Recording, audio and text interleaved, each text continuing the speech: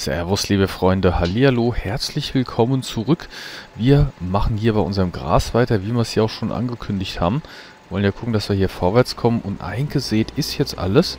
Das heißt, wir können also mal ein klein wenig die Zeit hochdrehen. Hat natürlich den Vorteil, das Feld 16 ist bald soweit. Das heißt also, die Rüben können jetzt bald geerntet werden. Ja, Rüben, da fällt mir was ein. Da gab es einen Kommentar, Rübenroder soll ich einsetzen. Hm, habe ich da jetzt was falsch verstanden? Oder meintet ihr auf dem Feld 16, wo wir die Rüben haben, den großen ähm, Grimme-Ernter, den wir ja schon im Einsatz haben? Das würde mich jetzt mal ganz kurz interessieren. Ansonsten, wie gesagt, warte ich immer noch auf die Antwort. Wir haben noch die Option offen, Feld 12 oder Feld 18 eventuell zur Erweiterung zu kaufen. Wir haben natürlich auch noch entsprechend die Gewächshäuser am Feld 21 zu machen. Außerdem wollen wir den Düngevorrat noch ein bisschen erweitern und wir wollen uns noch einen großen Case kaufen. So, wenn ich mir jetzt meinen Spickzettel ansehe, sollte ich glaube ich mal bald einen neuen schreiben. Hier ist im Moment alles nur querbeet durchgestrichen und gemacht und getan. Ähm, da muss ich dann doch mal schauen. So, der ist voll der Knabe, das heißt, den bringen wir jetzt gleich mal zum Kuhstall runter. Zum Glück haben wir hier den großen, wie gesagt, den großen Ladewagen. Äh, es sind ja jedes Mal 9000 Liter mehr, die da reingehen. Hat also in dem Punkt auch vom Fahren Vorteil. Wenn wir also vier, fünf Mal gefahren sind, haben wir im Prinzip eine Spur oder einmal fahren schon uns geschenkt. Das ist auch schon mal richtig gut. So, und jetzt werden wir hier mal gucken, wie es denn dort aussieht. Wir werden jetzt, wie gesagt, das nochmal beim Kuhstall abgeben. Vom Futter her sollte es eigentlich passen, aber wo wir gerade beim Thema sind, bevor ich es jetzt gerade vergesse, hier werden wir natürlich unsere nächsten Tierchen kaufen, klar. So, und jetzt gehen wir gleich mal in die Statistik. So, verkaufen wollten wir auch noch. Ja, da müssen wir uns auch bald mal ranmachen. Ähm, so, ja, das sieht eigentlich ganz gut aus. Gras ist schon eine Menge drin. Wir sind aber noch nicht bei den sechs Tagen. Ich denke mal, das wird aber jetzt bald dann der Fall sein. Ich weiß gar nicht mehr auswendig, wie viel wir da brauchen. Aber ich denke mal, ähm, es müsste ja eigentlich bald soweit sein, dass wir hier alles voll haben. Dann, wie gesagt, wollten wir ja noch mal kurz reingucken. Ähm, das können wir gleich auf dem Rückweg mal machen. Wir laden erstmal hier ab, weil mich interessiert natürlich auch, wie viel wir jetzt hier noch reinkriegen. So, schauen wir mal. Habe auch eben übrigens einen äh, ganz guten Kommentar gelesen und zwar war der aber im Titanium, Titanium, ja, im Titanium in Hagenstedt.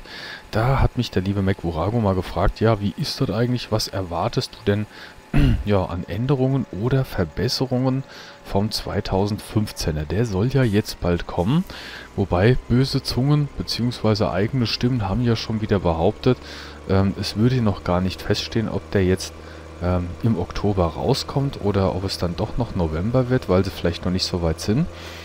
Aber ähm, ja, also Physik Engine hat der MacVurago gemeint, wäre eine ganz wichtige Sache, dass das Ganze ein bisschen ja, realer läuft und ähm, auch dann sozusagen Maschinen und Schlepper so im Prinzip äh, arbeiten, wie sie auch vom Leistungsvermögen zusammenpassen.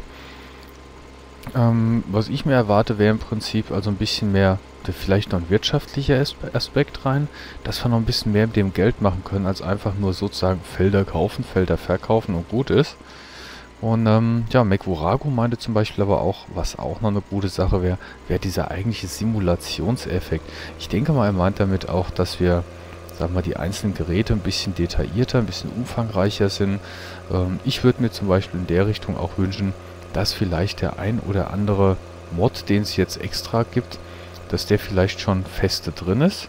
Das wäre also auch eine schöne Sache. Zum Beispiel ist mit der manuellen Zündung oder GPS-Mod für einige Traktoren schon installiert, was man dann nicht sozusagen zusätzlich als Mod erst machen muss. Ähm, was ich mir auch wünschen werde, wären ähm, ja, funktionierende Außenspiegel. Würde den Realitätsgrad doch deutlich nach oben schrauben, weil mit Außenspiegeln kann man also auch beim Rangieren dann nochmal ganz anders fahren. Ähm, schön wären auch ähm, zum Beispiel Jahreszeiten. Das war auch entsprechend vom Mac Urago eine Idee, dass man zum Beispiel auch Sommergerste oder Winterweizen oder sowas dann macht, spezielle Fruchtsorten auf die Jahreszeit abgestimmt. Also es gibt viel, viel Ideen, die so die Spieler und die Anwender im Prinzip haben. Ja, ich denke mal, wir müssen uns jetzt einfach mal überraschen lassen, was im Endeffekt dann dabei rauskommt. Ich hoffe natürlich auf einige Verbesserungen. Ich habe zum Beispiel gehört, Hagenstedt wird es nicht mehr geben. Das heißt also auch für uns hier, das Let's Play Hagenstedt wird dann ähm, endgültig auslaufen. Wir haben jetzt ein zweites Let's Play schon gemacht. Bevor das Titanium rauskam, lief ja auch schon eins. Ähm, Westbridge Hill wird es geben. Das Problem an der Sache ist aber, wie ich das jetzt richtig verstanden habe, ist, dass man die Spielstände entsprechend nicht übertragen kann. Das weiß ich jetzt nicht, ob das geht oder nicht. Müssen wir mal testen. Ähm, würde also bedeuten, wir würden vielleicht dann sogar auch Westbridge Hills dann gegen Ende des Jahres auslaufen lassen. Und würden vielleicht dann ein Let's Play machen, das aber dann auf der neuen Map, da ist ja ähm, Gerüchten zufolge schon eine Map aus Norddeutschland mit im Gespräch und Westbridge Hills, die zwei sollen wohl dabei sein. Wenn ich da irgendwo falsch liege oder jemand neuere Informationen hat, bitte in die Kommentare schreiben. Ich bin da mehr als gespannt drauf. Ähm, ja, werde mir das nachher noch vorbestellen. Das wollte ich eigentlich heute Morgen schon machen. Ha, ganz vergessen. Ähm, werde ich mal gucken, ob ich mir das Spiel schon vorbestellen kann, dass ich das rechtzeitig dann oder schnellstmöglich sozusagen dann da habe. Habe ja schon überlegt, ob ich mir das vielleicht einfach nur als Download order, weil dann geht das noch einen Ticken schneller. Sobald es verfügbar ist, kann ich es runterladen. Aber ich denke mal, ich habe dann lieber die CD mit dem originalen Code. Das ist vielleicht angenehmer. So, und was ihr jetzt hier seht, ist natürlich nicht ganz so das geplante. Ich fahre momentan ziemlich wüst hier durch die Gegend von einer Spur auf die andere. Will natürlich versuchen, dass wir das hier so nach und nach hier wegkriegen, aber hm, auch gucken, dass ein bisschen System drin ist. Oder nicht erstmal außen die Ränder wegmachen, aber ich glaube, das wird sich dann durch die ganze Reihe durchziehen. Werden wir mal schauen. So, also jedenfalls haben wir eine ganze Menge hier reingeholt. Ähm, ja, es ist jetzt nochmal ein bisschen viel nur mit Gras. Wir können aber zwischendurch einfach mal gucken, wie es aussieht. Ne, Wachstumsstufe ist leider noch nicht durch. Das heißt, wir können jetzt auch mit der Rübenernte noch nicht anfangen. Ähm, werden wir dann aber natürlich baldigst machen. Vom Geld her sieht es auch gut aus. Wir können jetzt auch schnell nochmal reingucken in die Statistik. 36.000 Liter sind bei den Kühen schon wieder zum Abholen bereit. Das bringt uns natürlich auch ein bisschen Kohle.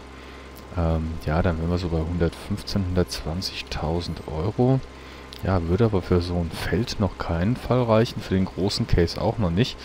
Ähm, da wäre schon fast die Überlegung, ob wir vielleicht doch in Richtung Gewächshäuser erst gehen. Das müssen wir uns dann mal überlegen. Könnt ihr auch mal in die Kommentare schreiben, was wir denn jetzt als nächstes machen sollen. Option 1, Gewächshäuser hier am Feld 21 in der Nähe des Kuhstalls dann anfangen. Da braucht man natürlich auch noch ein paar Geräte für. Ähm, Option 2 wäre auf das Feld 12 zu sparen und dann dort mit Kartoffeln zum Beispiel als noch offene Fruchtsorte anfangen. Option 3 wäre im Prinzip ähm, den großen Käse erstmal anzusparen, damit wir mit der Ernte vorankommen. Gerade Feld 10, 11, wenn die dann soweit ist. Oder Option 4, richtig lange warten noch, äh, übertrieben gesagt, und dann gucken, dass wir vielleicht das Feld 18 holen. Ähm, wir haben ja auch noch ein bisschen finanzielles Potenzial, wir können ja auch noch ein bisschen was verkaufen. Deswegen bin ich im Moment hier so, ja, am Gras dran. Also an der Wiese hier, denn ähm, wenn wir das durchhaben und das Ganze soweit unter Dach und Fach ist, hätten wir die Möglichkeit, während dann die Ernte mit den Rüben läuft, dass wir vielleicht noch ein bisschen was verkaufen können. Also da bin ich mal gespannt, was ihr dazu schreibt. Heute werden wir das nicht entscheiden, morgen auch nicht gleich. Wir brauchen ja für alles erstmal die finanziellen Mittel. Aber mich würde mal interessieren, welche dieser vier Optionen ihr im Prinzip am liebsten hättet. Also entweder die ähm, Gewächshäuser oder Feld 12 oder erst den großen Case oder auf Feld 18 gehen. Da, wie gesagt, bin ich mal gespannt. Ich bin so gespannt, dass ich gar nicht gemerkt habe, dass hier im Prinzip das Ganze schon wieder voll ist. Nein, nein, nein. So, Futter haben wir jetzt richtig gut beim Kuhstall drin. Ich denke mal, das könnte mit viel Glück jetzt die letzte Fuhre werden, die wir brauchen. Danach geht es ans Silo für die Kühe. Denn ähm, da wollen wir natürlich auch gucken, dass wir das voll kriegen. Ich gehe jetzt nochmal hier in die Statistik rein. Mich interessiert ja mal, wie viel da rein kann. Also wir gehen jetzt langsam auf die 300.000 Liter. Das ist ja schon mal richtig viel. So, wenn wir jetzt hier mal entsprechend das Ganze noch entladen. Bin ja mal gespannt, wann der Button kommt, von wegen ähm, Kühe für sechs Tage voll. Da bin ich echt mal gespannt, wie sich das entwickelt. Ja, jetzt geht's los. Ja, Im Moment tut sich noch nichts mit sechs Tagen. Ich glaube, das waren über 300.000 Liter. Das heißt, wir müssten danach wahrscheinlich nochmal eine Fuhre machen. Aber das ist gar nicht schlimm, denn dann haben wir erstmal richtig lange Ruhe und die Kühe erstmal richtig viel Futter. Mhm. Ja, und so sieht es auch aus, denn wir haben knapp 300.000 Liter drin. Also, da geht noch ein bisschen was. Das heißt, da werden wir auch dementsprechend gleich noch ein bisschen Gas geben. Ein paar Minuten haben wir noch. Wir gucken aber vorher nochmal schnell hier rein. Nö, da hat sich noch nichts getan. Okay, dann werden wir beim nächsten Mal die Zeit vielleicht doch noch einen Ticken forcieren. Können es auch jetzt mal ein bisschen schneller vorlaufen lassen. Dann können wir vielleicht sogar in der nächsten Folge schon mit der Ernte anfangen. So, hier fahre ich aber jetzt doch nochmal zurück. Weil sonst gibt es ein absolutes Spurenchaos. Ich glaube, wir müssten doch langsam mal gucken, dass wir die ein oder andere Spur einfach ganz in Ruhe durcharbeiten. So, da ist schon das Ende der Spur, das passt. So, Milch müsste auch gleich geholt werden. Ist jetzt schon bei 41, 43.000 Liter sogar. Und das ist mal richtig edel. So, machen wir hier den Ladewagen gleich wieder an, dann können wir hier weiterfahren. Endlich wird es auch wieder ein bisschen heller. Ja, ich sehe aber schon, es ist wolkig, das heißt, ähm, ja, so den strahlenden Sonnenschein haben wir nicht. Aber zumindestens ja, kein Regen, wie jetzt gerade äh, ja, in Hagenstedt erlebt. Oder, ähm, ja, wenigstens mal ein bisschen Licht, ne? Waren jetzt auch eine ganze Zeit wieder im Dunkeln. Ja, das wäre auch noch so eine Sache. Tag, Tages- und Nachtzeiten. Ob man sozusagen vielleicht so eine Art Story-Modus daraus macht und sagt, okay, an bis 22 Uhr kann man arbeiten, so ähnlich wie beim Skiregion-Simulator. Und dann geht es morgens ab 5 Uhr oder sowas wieder los und dass man über Nacht einfach nichts machen kann, weil so kann man ja so eigentlich rund um die Uhr was machen. Wird aber im realen Leben, denke ich mal, bis auf ein, zwei Ausnahmen wahrscheinlich auch nicht so praktiziert. Ähm, da hat man ja auch so in einer gewissen Form seine Arbeitszeiten. Auch wenn die natürlich als Landwirt nicht festgeschrieben sind, klar. Man muss eigentlich immer irgendwie ran. Oh, Milchwagen ist da. Der kommt jetzt und holt unsere Milch. Das ist sehr gut. Gucken wir gleich mal. Das dürften wir jetzt noch mitkriegen. So, hier bin ich in der Spur. Mal gucken, wo der gerade ist. Ah, der hat gerade hinten angehalten. Jawohl, knapp 35.000 Euro hat die Milch jetzt gebracht. Also das ist schon mal ein richtig dicker Brocken.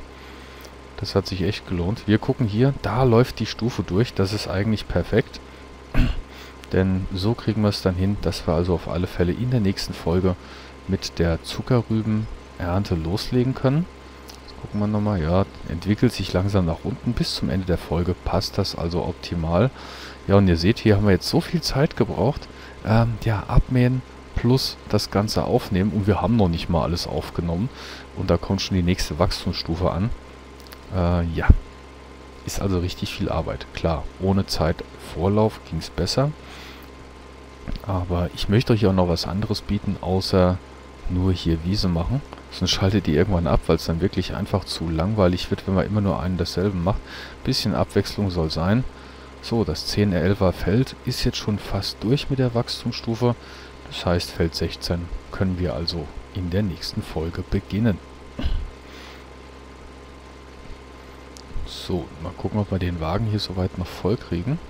Ich gucke nur gerade, wie weit es läuft. Ich will nämlich dann gucken, wenn wir im Prinzip beim Feld 16 angekommen sind, dass wir die Zeit wieder anhalten.